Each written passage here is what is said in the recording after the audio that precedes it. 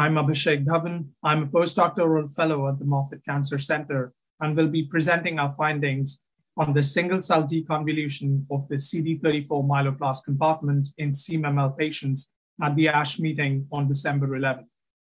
CD34 myeloblasts constitute the self renewing population in CMMLs.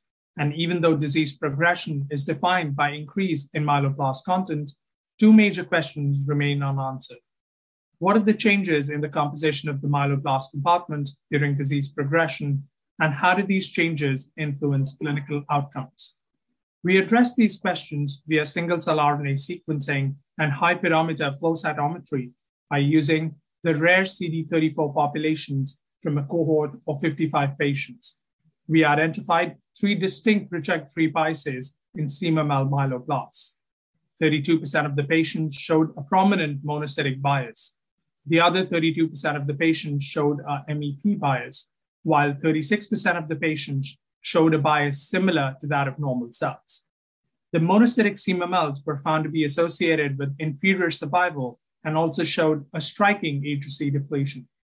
Flow cytometry based investigation revealed a reduction in HC numbers at the WHO defined stages of disease progression, which was associated with myeloblast expansion and adverse survival. This prompted a comprehensive investigation of the neoplastic monocytic subsets.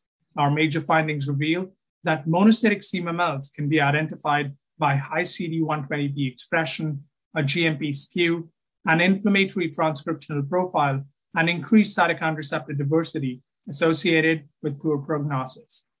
Further, stress induced hematopoiesis can recapitulate these monobiased states in RAS mutated CMMLs.